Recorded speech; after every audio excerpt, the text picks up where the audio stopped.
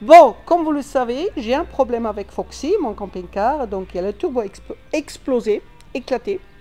Et je suis, nous sommes euh, dans un garage à l'Argentière euh, La BC, c'est bien ça, voilà. Dans le garage Cornen, euh, père et fils, voilà. Et qui vont normalement réparer mon Foxy pour que je puisse repartir. Alors, est-ce que vous êtes le fils? Est-ce que vous voulez bien vous présenter un peu votre garage et ce que vous faites? Voilà. Pas de problème, donc euh, bonjour à tous, je m'appelle Loïs, j'ai 20 je viens d'avoir 22 ans.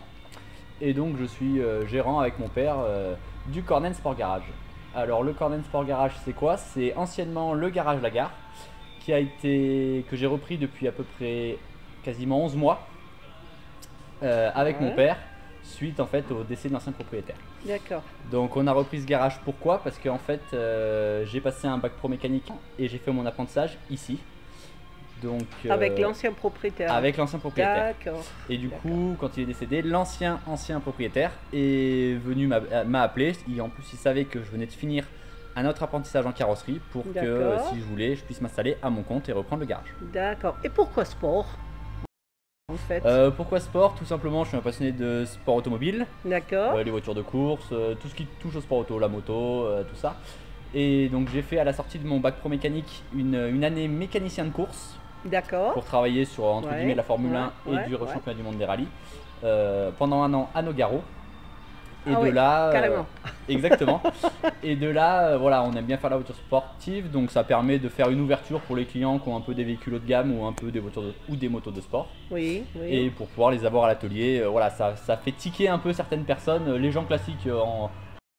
Ça leur fait rien, mais ceux qui disent ah, beau sport, on dit oui, oui. Eh oui. Et, et ça permet de faire des ouvertures. Ouais, Là, par ouais. exemple, on a une petite euh, Triumph Speedster qui va Ah rentrer oui. d'ici une semaine. Bien. Voilà, pour euh, régler Ah, je le verrai soucis. plus, on sera parti, c'est dommage. Voilà. L'histoire du On va sport. pas Voilà. le séjour ici quand même. hein. Non, non, non, c'est bon. Et euh, vous m'avez dit que demain, vous passez un CAP euh, Mécanicien mécanique. moto. Bien.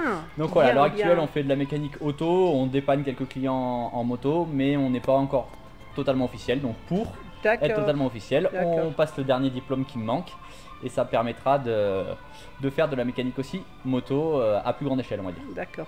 Alors, c'est ce qui m'a plu. euh, vendredi matin, quand vous, quand vous êtes venu euh, sur le parking là où j'étais en panne, vous n'êtes pas venu avec la valise, vous êtes vraiment venu avec la caisse à outils, vous avez ouvert le, le capot moteur, vous avez mis directement les mains avec votre collègue.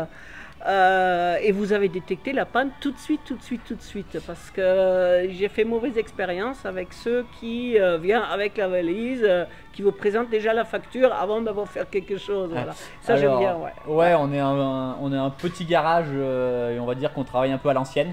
Mhm. Donc euh, voilà, on essaie de réfléchir avec notre tête avant de faire confiance à, à l'électronique euh, pour trouver les pannes. bien. Et j'ai la bien. chance d'avoir vraiment un mécano en or que je remercie encore, merci Monsieur Ouais. Coursier, Ouais. et qui voilà a vraiment, on a vraiment une bonne logique euh, dans le domaine et ça nous permet de trouver les pannes. euh, L'électronique va toujours avec la mécanique. Oui. Si on a un Oui. problème mécanique, euh, c'est d'abord euh, ça principalement qu'il faut réparer. Ouais. Ouais. Donc voilà, on attaque, euh, on attaque par là.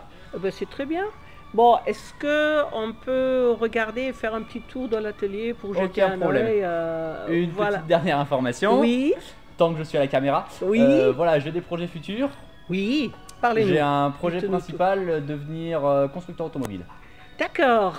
Donc euh, si tout se passe bien, que je trouve des financements, donc je cherche des financements Bien. pour euh, faire une dernière formation qui se passe à l'école euh, Esperas Barreau à Montbéliard dans Mhm. Bourgogne, en Franche-Comté, Mhm.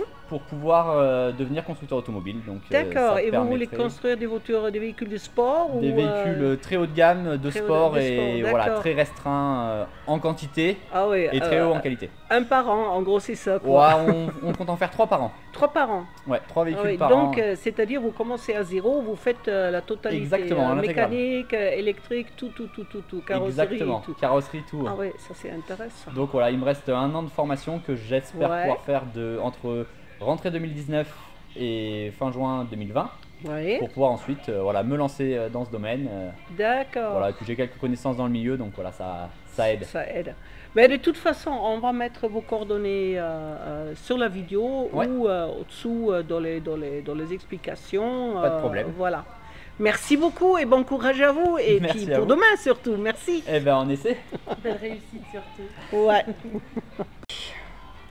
voilà donc euh, l'atelier. On a les endroits, les comptoirs, les tables, les établis.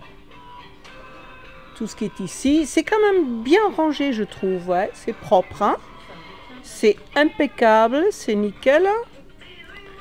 Tu voulais toujours voir un vilebrequin. Voilà un vilebrequin ici. Je rêvais d'un vilebrequin, vraiment. Allez, tu rêves d'un vilebrequin, je le savais. Voilà, c'est ça, un vilebrequin. Voilà. Voilà.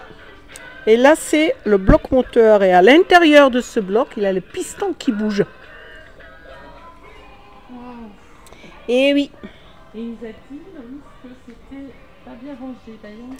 Ah, il nous a dit que c'était pas bien rangé. Moi, je trouve que c'est super bien rangé, ouais. Ah, ouais. Regarde tous les outils là, euh, c'est vraiment c'est propre, c'est nickel quoi. Bon, donc euh, vous avez vu, je vous ai présenté un peu mon garagiste. euh, c'est super sympa, père et fils, voilà, super compétent. Et euh, normalement, mercredi, on est prêt, André et moi, Coquelicot et Foxy, Cassie et Domino, à reprendre la route. Voilà, en attendant, j'ai déjà commencé à enlever tout ce qui était là-dessus. Vous savez, les, traits, la et ainsi de suite. Euh, parce que c'est là, on va coller euh, nos stickers euh, et nos noms et YouTube et ainsi de suite. Autre chose, nous avons maintenant un compte sur Tipeee. Voilà. Si vous voulez vraiment être avec nous, nous soutenir, nous aider pour qu'on puisse continuer à faire des vidéos quand même assez sympathiques, alors vous pouvez voir là au-dessous, là, dans le descriptif, vous avez le lien Tipeee et vous pouvez aller voir, c'est ce que nous proposons sur Tipeee. Sur ce, je vous souhaite un bon, une bonne fin de journée. Bisous, très bientôt. Ciao, ciao